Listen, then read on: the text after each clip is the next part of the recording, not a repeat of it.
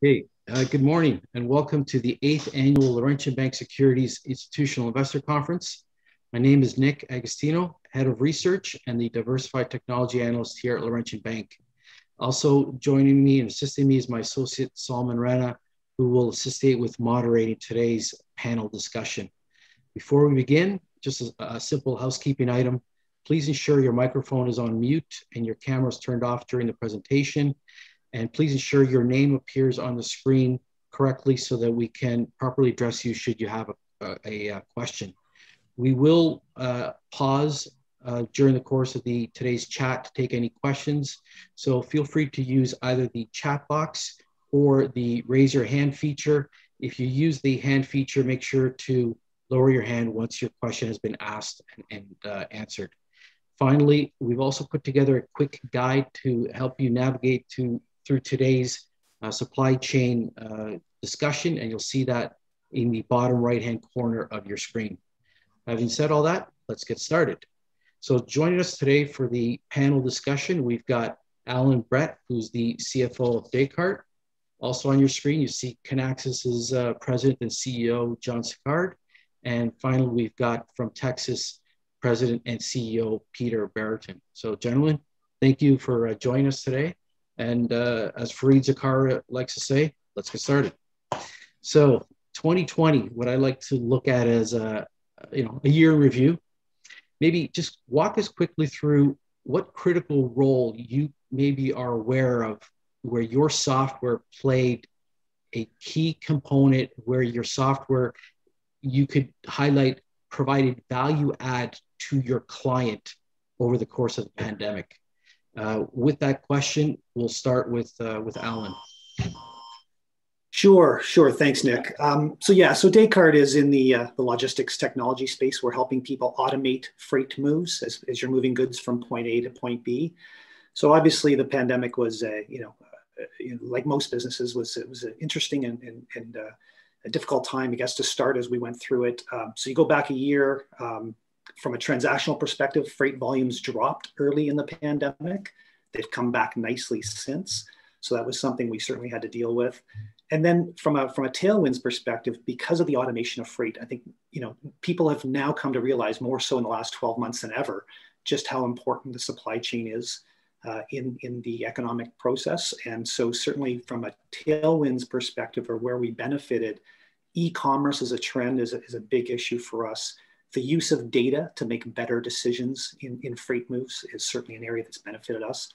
And the area of visibility, um, turning the lights on to third party freight so people see where their goods are, um, has been very much a, a, beneficial area. People are you know, experiencing the, uh, the, the pain of not having product. And so when you know where the goods are and you can make better decisions based on, uh, based on that knowledge, that, that that's another area that's been uh, been a nice tailwind for our business. So those are three areas that we've benefited and certainly seen the transactions come back nicely here in the, in the last six months as well. Okay, John, your experience?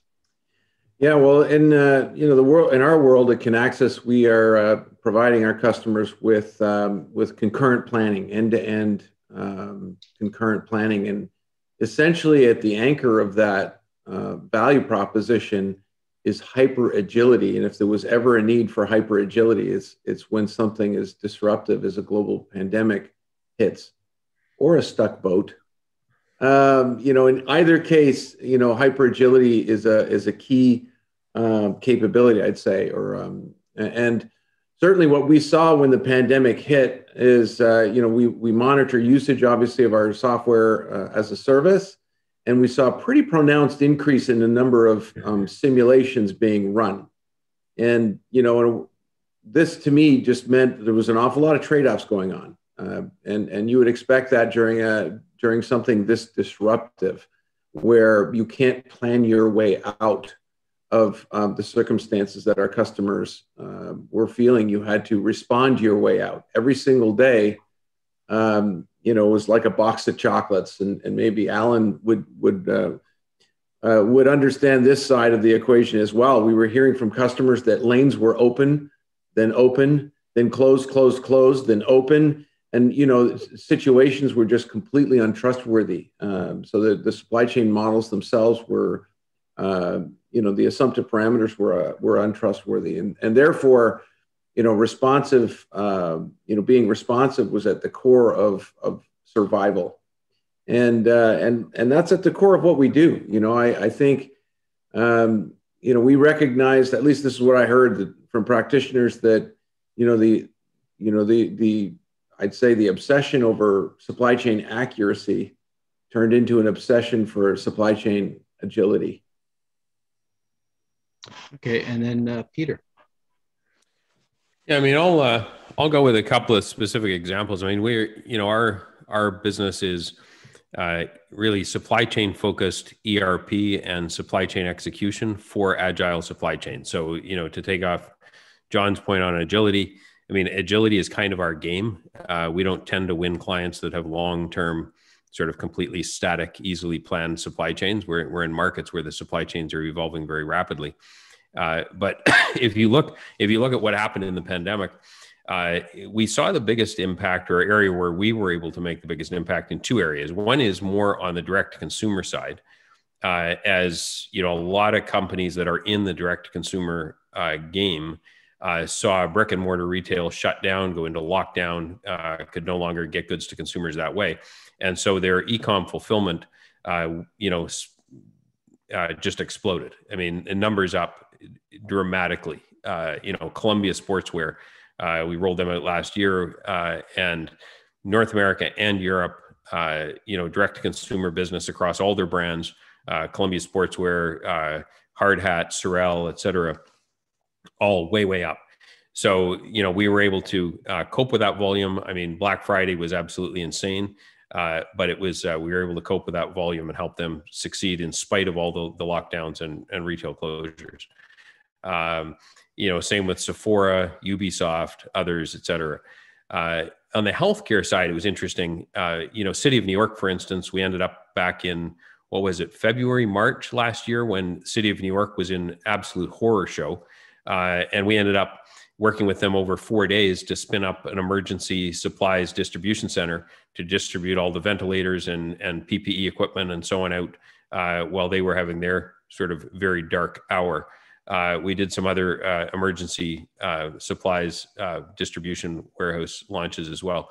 Uh, but for the bulk of our hospital clients, it was really just a question of, you know, them taking advantage of the platform they'd already implemented. Um, you know, we're sort of proud to say that the the hospital networks that were running our platform uh, managed the pandemic better than the ones that didn't. Frankly, uh, the ones that have our platform knew where their stuff was, knew where to get it, knew what the ages were. The stuff wasn't all expiring on the shelf, uh, et cetera, and we're able to to manage the pandemic quite well. I mean, Mayo Clinic and Trinity Health and others uh, got through it uh, quite well.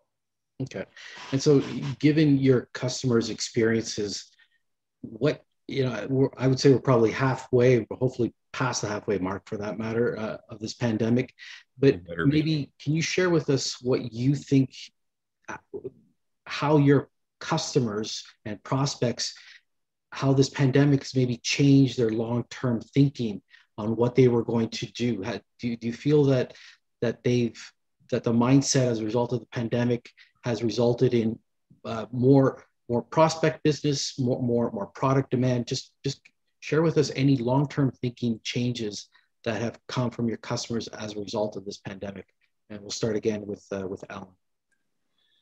Sure, sure. So I think if anything, um, some of the trends that have been in place even pre-pandemic, um, I guess in our feeling have been have been brought forward or exaggerated by the pandemic. So the, the, the value in automation, I mean, I think all three companies that, are speaking to today, we're all in the, you know, you know, supply chain and we're, we're probably more a little bit more logistics, but you know, and that's a more broader supply chain space in technology. And, and certainly if you looked at your supply chain functions, you know, a number of years ago, it was a cost issue. Um, if anything, you know, we've seen this trend continuing that it's become more and more of a service element, right? This whole e-commerce piece that uh, that Peter was alluding to, and and uh, and so we certainly see that that being exaggerated by the uh, by the pandemic. People are realizing, you know, my storefront's shut down. I've got to move even faster towards e-commerce if I wasn't already thinking of doing so.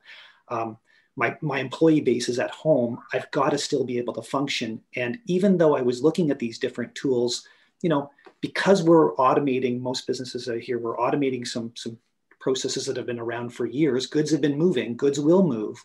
But now that my employees are working from home, there's more and more e-commerce trend. Um, you know, exaggerated or pulled forward the need for technology. And I think that's what we see continuing. These trends that were in place are now even more uh, prevalent and, and, and companies are focused on them. So, you know, for us, third party freight visibility, right? Knowing where your goods are at any time, much like you know where your Uber, Uber uh, vehicle is at any time.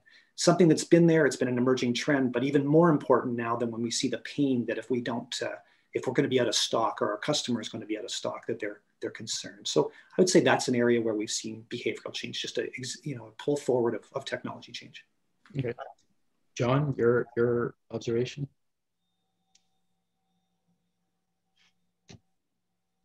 There you go. Uh, uh, unmute. You'd think I'd get that right by now. Um, uh, I'd say uh, over the last 10 months or so, I've, uh, I've interviewed maybe 50 or 60 chief supply chain officers from some of the largest um, enterprises on the planet and some small ones too. But I'll tell you, they all, um, you know, there's a thesis emerging. You know, I, I would say one, um, every board, every boardroom is asking their CEOs, what are you going to do next time? You know, I, I think, you know, supply chain is definitely um, surfaced to a board level discussion if it wasn't before. And, and through that simple question, they're basically saying, you know, what got us through the last 30 years will not survive the next 30. And so incrementalism is dead.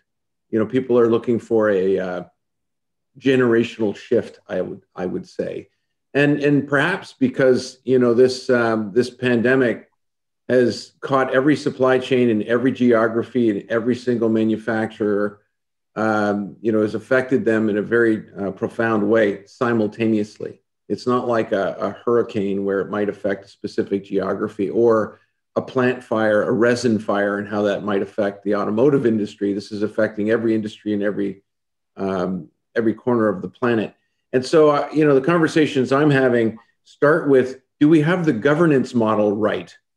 Um, and, and so they're really rethinking, you know, the, the, uh, the approach to what governs supply chain. And it's kind of steeped in a statement I made earlier about, you know, being so, so hyper focused on accuracy and the pursuit of the perfect plan. There's a recognition that that is a fool's errand.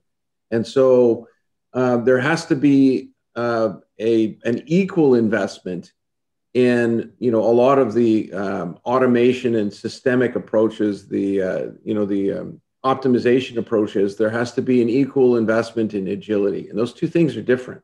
They're they're very very different.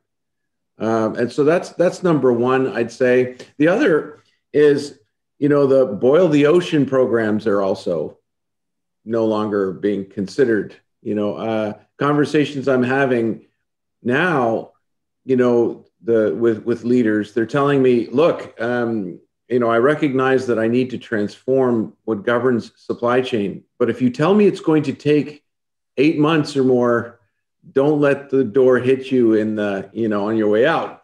Um, and so they're looking for you know a very rapid inoculation of their own right? So lower my fever. I need to feel better before I'm going to cure myself, before I'm going to ultimately transform. And that's a different conversation that I'd been having, you know, prior to the pandemic, you know, where very large, grand scale transformations were being, you know, digital transformations were being conceived. Now it's, you know, can you get me, can you lower my fever in three months or less?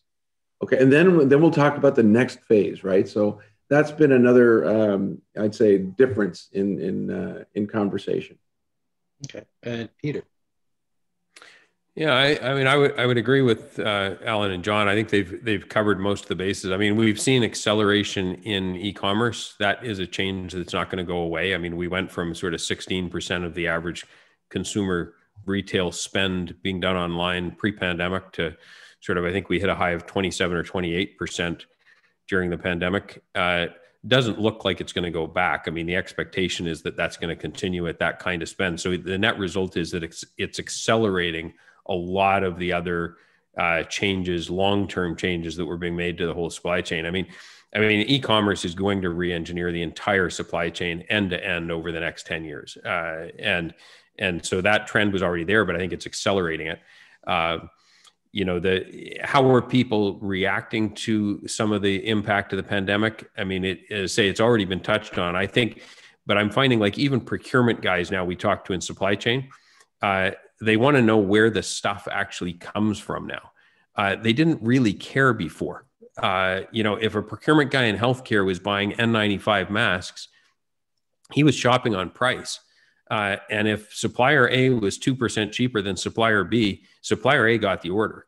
Uh, well, now they want to know where's this stuff coming from? And if I'm buying from three different suppliers to diversify my risk, but all the suppliers are getting their stuff out of Wuhan, uh, then I haven't really diversified my risk. Uh, you know, we saw that initially a few years ago when a hurricane hit Puerto Rico. Uh, and a number of our customers in healthcare, it, it was a wake up call for them even back then. Uh, you know, again, they thought they had diversified their drug supply to make sure they had three different suppliers of a drug, only to find out when that hurricane hit that all of the manufacturers were literally in the same section of Puerto Rico. Uh, so you know, the, so now the, this whole sort of where is it coming from and how much of a premium am I prepared to pay on risk reduction is just a new formula. I mean, it just becomes part of the procurement algorithm now, and it really wasn't before. Uh, so I think you're going to find people are willing to pay more for a shorter supply chain. Uh, and short supply chains are more agile. I mean, just by definition, they are more agile. So I think there's going to be a trend to shorter supply chains and a willingness to put some kind of a premium on risk reduction. Okay, and that's a good segue into my next question, probably my, my favorite question.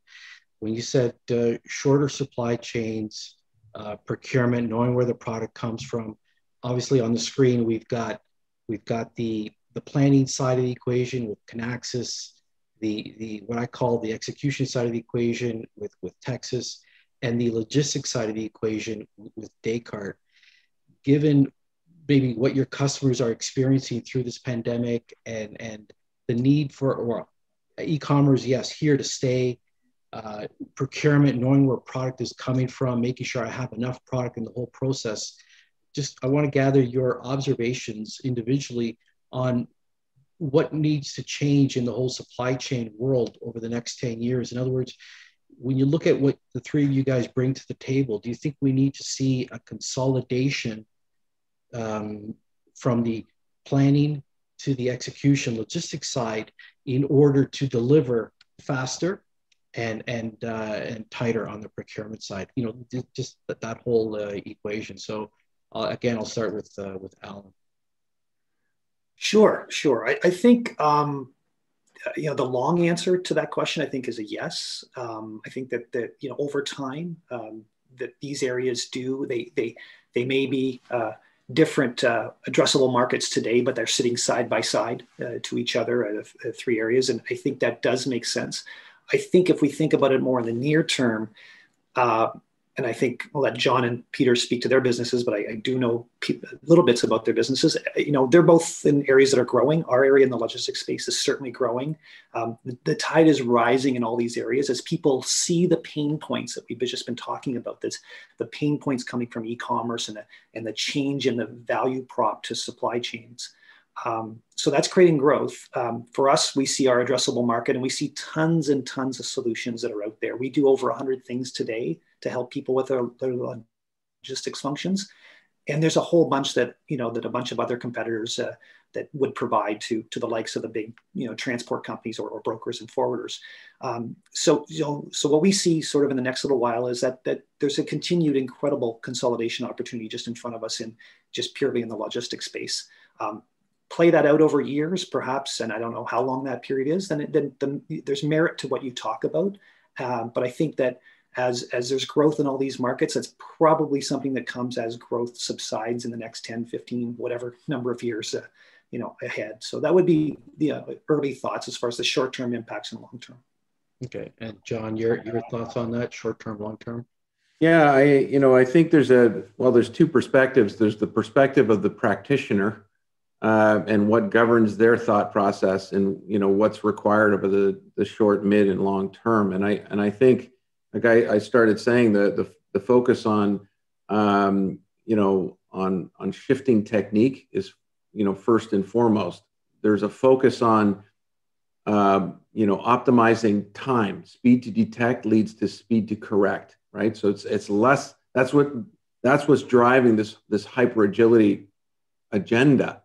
As it relates to the technologies that ultimately enable that, um, well, certainly at Kinaxis, you know, anything we look at uh, that violates the, you know, I'd say the ability to plan and manage concurrently loses its value. It just creates lethargy, and uh, and so um, you know we're I, I, think a lot less about uh, you know about the the M and A strategy as it you know uh, I'd say a la E2 Open, where you know you you uh, it's a collection of uh, of disparate systems.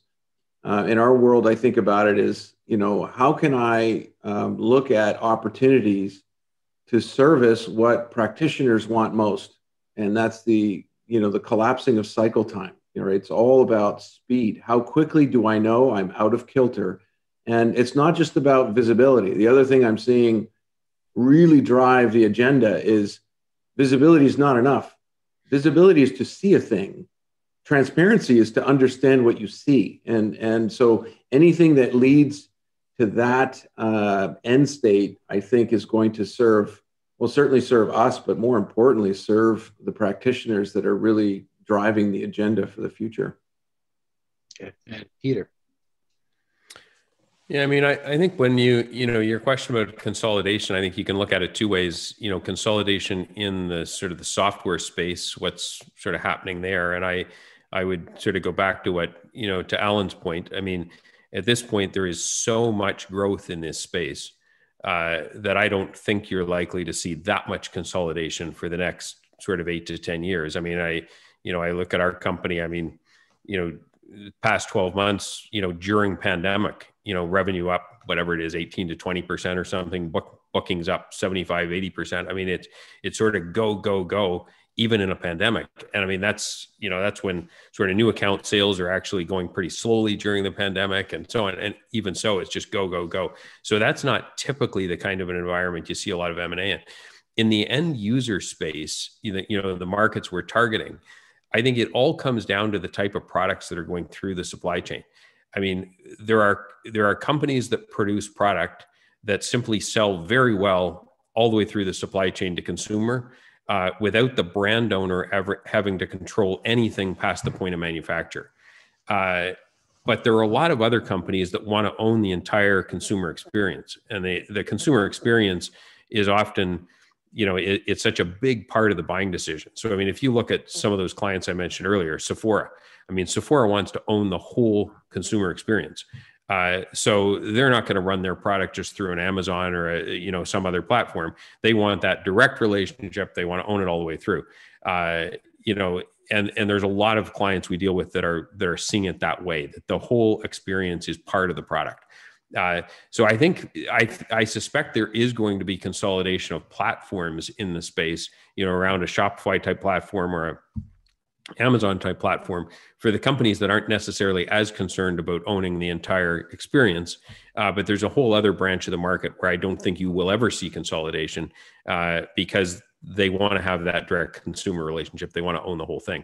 And I, I, mean, at this point, all of these various brands are battling for the consumer doorstep. I mean, we've moved from you know the battle in excellence of manufacturing and brand positioning and everything to now it's all about uh, who owns the consumer doorstep. So I think that's going to, for a lot of those guys, that's going to argue against uh, much consolidation.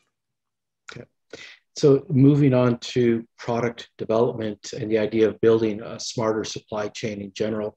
Obviously, technology will be at the forefront of delivering that, that leaner model. I know in, in the case of uh, Descartes, blockchain has been thrown out there as a potential uh, technology that can be deployed in the case of Kinaxis, uh, Tecsys, um, AI, machine learning have been technologies that you guys have already started to implement. So maybe walk us through what emerging technologies you guys um, uh, are either focusing on or, or, continue to build upon. Whereabouts you think you are in your respective developments? You know what I like to use the ball game analogy: first inning, second inning, etc. And and maybe when you look out five, ten years, AI, blockchain, machine learning, what what product gaps again, technology wise, do you guys see within your respective organizations? Do you think that your customers are are suggesting to you or or you're gleaming from the marketplace that you think you're going to need uh, in, in in short in the short while to get you ready for the next five ten years and we'll we'll go back to alan yeah, sure. So, so I think you know, come back to some of the, the more macro trends, right? Uh, we've been talking about e-commerce, and this, it's here to stay, as Peter said, um, and we certainly agree with that. And and the pain points that's putting on, and, and, the, and the spotlight that's being that's being put on the supply chain and the logistics functions within organizations today. So, these are the these are the, the trends our all our customers are dealing with, and how do these technologies factor into that? So, you mentioned about blockchain. Um, for us, we run a network um, connecting trade parties. Uh, blockchain is a type of transaction to us. We spent a lot of time being involved in various group studies and think tanks. And blockchain is, is going to enter into the logistics function. Um, you're going to pay more. Uh, you know, blockchain is going to be a more expensive way than just connecting. You know, when we're sending messages, we're not a trusted intermediary. We're not paid to tell you that that's right. We're just paid to, to connect you. Um, and so it's hard to replace that pennies on the transaction type of cost with blockchain, but you will do so when it's valuable goods or it's something that needs to be traced where chain of custody is important. So we see blockchain entering into our network as a type of transaction, a higher value type of transaction.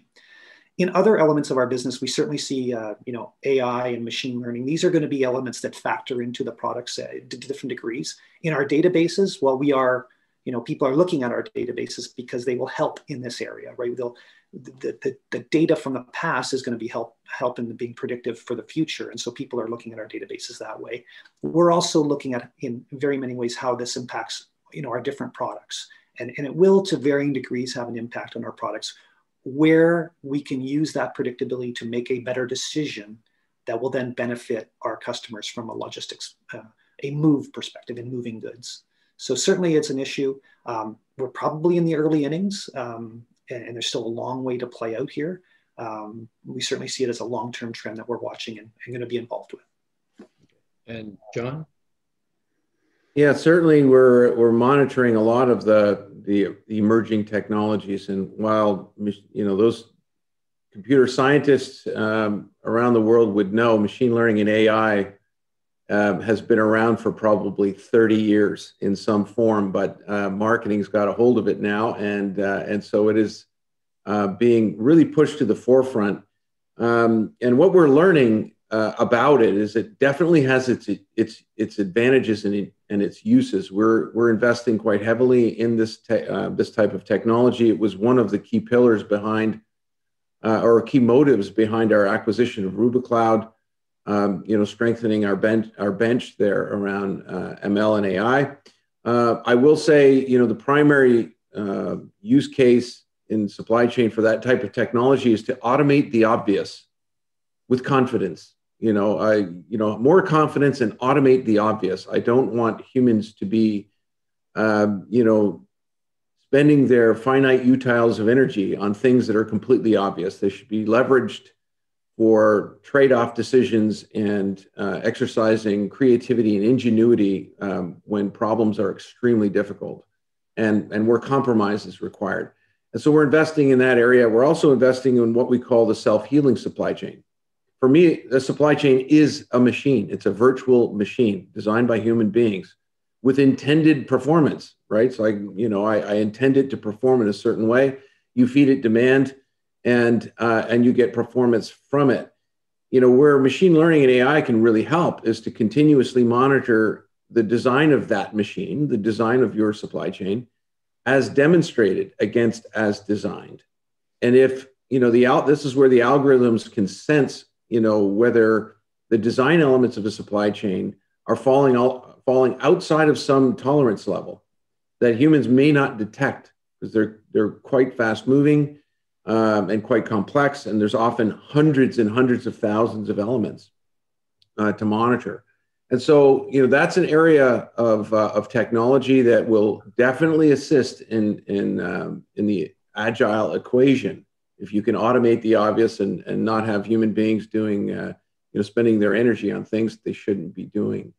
You know, we're also focused on, um, you know, looking at the potential for, in, in our case, expanding rapid response to public cloud uh, as a as an expansion opportunity uh, as we continue to grow. Because we have also seen, um, you know, and I made this this point during the last earnings call that our our um, prospects and our pipeline uh, are now, you know, moving much more into the mid market uh, segment, where where in the past we might have been, you know, more aggressively focused on enterprise class, and uh, and so that has us, you know, focused on. Um, you know, on the on the public cloud. And then lastly, you know, um, we've come to realize, you know, having served the world's largest tofu manufacturer and and companies that make missile systems, you know, so you couldn't see two more diverse types of supply chain and everything in between. Um, you know, we're following the the the Mark Benioff model, I'll say, right, where you know we're not necessarily um, sure exactly where the market will lead. Um, and yet we want to be prepared for when they lead us. And so as a result, we've invested in what we call rapid response as a platform, similar to what Salesforce did, force.com. This was a, a strategy that basically says, you know, I'm going to create the conditions for innovation to be done by third parties or customers themselves. And that essentially is, um, you know, is our, our bet, if you will, in, in driving future state technologies faster. Okay. And Peter?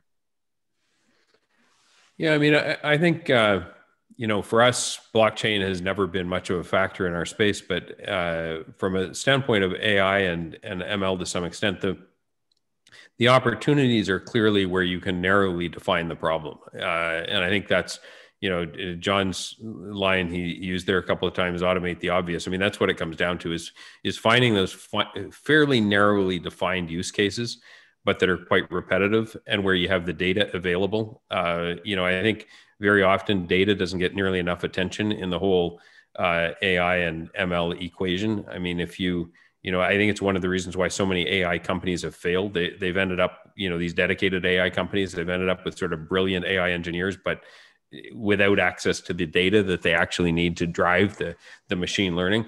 Uh, you know, the we have used for a, a, few years, we've been using machine learning in the area of uh, demand planning and forecasting and sort of rapid reaction within a distributed supply chain uh, to be able to, you know, react and sense to changes in demand based on various factors.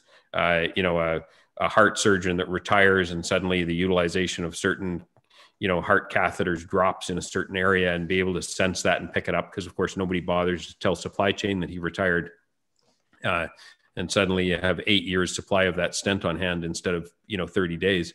Uh, so so we've always had that kind of you know machine learning built into the platform. Some of the areas we're looking at now you know if you picture a, a, warehouse with you know 500000 square feet and a whole bunch of workers and a whole bunch of forklifts uh, about 80% of the labor in that warehouse is spent on travel time uh, it's not pick time at the at the shelf. It's not pack time. It's actually just traveling to the pick zone to pick or traveling back to the conveyor to put it on. It's a huge percentage of the time is spent on travel. So it's a classic uh, machine learning type uh, situation where you can analyze the layout of the facility, analyze the the behavior of the people.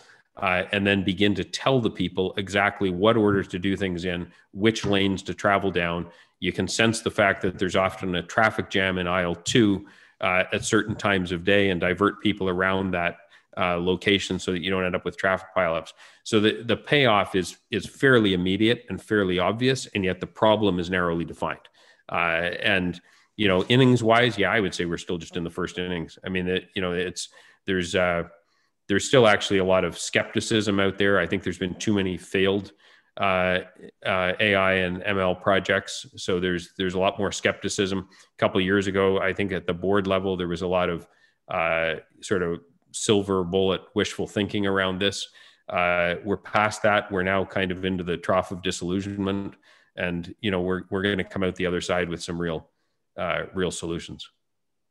Okay, so when we stepping back on the pandemic itself, you know, kind of got a lesson learned. What would you do better the next time around? So, what what would be your primary takeaway if if you given what you know now, if you could go back a year ago, or given what you know now, should we have another exogenous shock to, to the supply chains?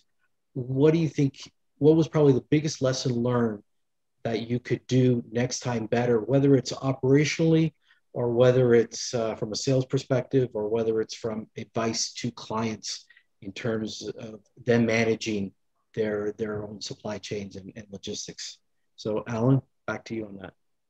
Yeah, it's a, it's a good question. Um, you know, I, you, you, mentioned, uh, you know, what would we do differently? I think, I think from our perspective, um, you know, and this is, you know, you can look at it from a post perspective. We we run, uh, you know, very very, uh, you know, diverse products. We, have got a number of different products across a number of different customers. So we're, you know, 23,000 customers, uh, over 100 solutions. So we're very very diverse. And we went into the pandemic and probably played defense for the first two months, like probably everybody. It was a it was a scary time, and um, and I'm not sure as I think about that, I'm not sure we would really, even though it turned out probably a lot of the defensive thinking was not used. The business was extremely resilient. Um, proved to be, you know, we had, had a great year as, as, a, as the other companies here did as well last year. Um, and so we, we made have you know misplaced that energy. I'm not sure i would do it differently though. I think if any of these types of, of panicked situations the way we run our business is we would think um, conservatively to start and then branch out from there and i think uh, so even if we realize that those defensive efforts were not utilized to uh, to any great extent it was probably not a wasted effort and something that's logical to do um, you know, I think I think we've we've invested. We we quickly sort of because 30% of our population worked from home, we were quickly able to adapt from that, and and we were ready there. So I'm not sure that was a a, a change that we would have you know made differently. Um, but I think uh, addressing sort of the customer concerns, um, getting out a little bit in front of of where our, our solutions would uh, see, seeing where our solutions would be beneficial to the customers, maybe a little bit quicker on that perhaps. But uh, overall, we think we're pretty pleased with the response we had to uh, was a pretty, you know, um, a difficult time. And John, your thoughts? Yeah, I, um, you know, 2020, uh, you know, hindsight's always 2020. We always look back and say, you know, what did we learn? Um, and, you know, hopefully this is a once in a lifetime experience for all of us. Um, haven't seen one for over 100 years, and hopefully we don't see another one like this for you know many more hundreds of years. Uh, when I think about what we learned, um, you know, what went well, what didn't, I think for one thing, uh, you know, the recognition that uh, our our solutions needed to be packaged for speed, you know, prepackaged. This ra- what we call rapid start. Um, the, you know, the the pandemic, I'd I'd say was a key catalyst to packaging, um, you know, packaging our value proposition inside of a 12 week window, um, and and you know, I we did it, which is great. I would have loved to do it a little faster. You know, I had you know hindsight. We are like, man, if we were ready with this on day one, uh, but of course, we just, you know, our business didn't necessarily see it um, as being critical to our success, and we've been seeing, you know, as you know, success as the as the years, um, you know, as the years progressed. So, so I'd say this notion of rapid respart, rapid start um, uh, as a packaging equation was pretty critical. You know, the things I'm still very proud of uh, of of Kinaxis and and all of the the women and men there that um, that made 2020 possible. We never withheld guidance, and we hit our number. Um, and that wasn't necessarily true for a lot of uh, companies. And so we, you know, part of that is the confidence in the business and the confidence in our value proposition, the confidence in the pipeline. Um, we also grew headcount by over 50% in 2020. Um, we call them the class of 2020. Many of them, most of them, maybe all of them we have not met face to face. but I'm I'm very proud of of our HR team and, and the hiring managers that didn't uh, didn't let up um, on on that front. Um, so you know, I, I would say a bit a bit of a mixed um, reaction to that question. But like Allan, I don't know that I would have necessarily preemptively changed anything. We we were learning as we were going. You know, it's a first, there's no there was no manual necessarily to read to say this is what you do when a global pandemic hits. Um, you know, so so we definitely leaned on each other uh, quite a bit uh, as a team, and very quickly uh, we'd run out of space in our building, for example. So we'd already had a work from home protocol. Uh, we just exercised that protocol worldwide, and we didn't have to reinvent that protocol, which was which was really good. The only thing I could think of, Nick, is really, you know, having seen this notion of packaging a 12 week go live value proposition, um, which which is uh, you know picking up steam for us. Okay.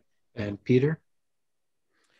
Yeah, I I've been thinking about this too, and I don't know what I would have done differently. I mean, I I think one thing this pandemic has proven is that our collective ability to uh, forecast human behavior uh, in this type of environment is zero. Uh, so so you know we we just i mean who would have expected that right now housing prices would be through the roof? And you know if you're trying to build a house you'd, it'd take you eight months to get a roof truss. And uh, like like who would have thought right? Uh, but you know here we are. Uh, you know so so our you know when it first hit uh, we hit the brakes on hiring for about 45 days uh, and then realized that was a screw up uh, and sort of shifted back onto the gas pedal. Uh, we raised capital last April uh, on the premise that you know we had no idea how long this pandemic was going to last, but we knew it was going to be severe, and we wanted to have a fat balance sheet going through it. Uh, and we also thought, again, turns out wrongly, uh, that there'd be some really great uh, acquisition opportunities as sort of companies you know collapsed in, as the economy collapsed going into this uh, this pandemic. Well, that didn't happen either. I mean, you know, most software companies survived and thrived, and in fact, valuations moved up and uh, and so on. So we're, you know, I mean, at this point, we're coming out of this thing with more cash on the balance sheet than we need, frankly, and uh, and you know, in hindsight, should we have taken that dilution? I don't know. At the same time, if another one of these hit uh, two years from now, I don't know that I'd do anything different. I think I'd still, first of all, hit the brake. Uh, I'd want to make sure my balance sheet was really strong, uh, and sort of then let the chips fall where they may, kind of thing. Uh, you know, for our customers, uh, are you know they were already looking at shortening supply chains because of geopolitical changes, rising tariff barriers, uh, rising nationalism, uh, a, a bit of a collapsing belief in in globalism. Uh, so they were already trending towards looking at shortening their supply chains, finding onshore suppliers, finding you know manufacturers that were using robotics to to move the, the product production back onshore, et cetera. Uh, I think this pandemic has accelerated that. So so suddenly the idea that a supply chain that spans the globe is a safe supply chain just isn't really believed anymore. So so for critical product at least, uh, I think the supply chains are going to get a lot shorter, and that's one of the lessons learned coming out of this. Okay, and then just, I'm going to sneak in one question here, and then we'll wrap it up. Um, obviously, all three business models have a professional services revenue component.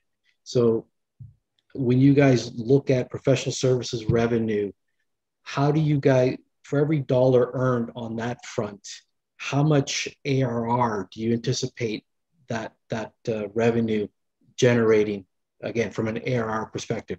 Is there is there some sort of a ratio that you guys anticipate uh, for your respective uh, businesses?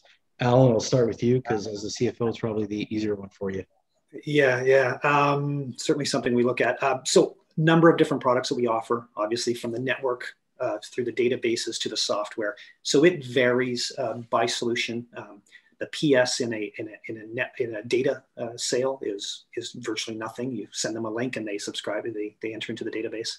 In our routing solutions, it would be much different, where we have to uh, map all the data and put it into the, the routing algorithm. Overall, it's around $10 of ARR for every dollar of PS. Uh, that's roughly what our consolidated numbers look like. So, you know, 9% of our revenues coming from uh, PS, about 90% coming from, uh, from uh, subscription services. Okay. And John? Yes, in our business, um, and primarily I'd say um, in the enterprise space where we're dealing with you know behemoth, very large uh, corporations with you know in some cases hundreds of factories. There is some lifting involved in in um, in in uh, transitioning them to a concurrent planning model. At the same time, you know, our we look at professional services as you know subscription enablement uh, as a as a primary motivator uh, for that function. And you know, we have um, you know our our growth engine, if you will, is the subscription service, similar to what Allan was saying, uh, and that's what we that we that's what we focus on. And you know, so our intention is certainly not to grow professional services. We have it. Um, it's it's a necessity in some cases for strategic accounts. But as, as you know, Nick, we've you know for many years now we've been investing heavily in a partner ecosystem to pick up the, the you know uh, the lion's share of professional services and help us scale. We recognize that we can't grow organically fast enough without partners delivering uh, delivering the service.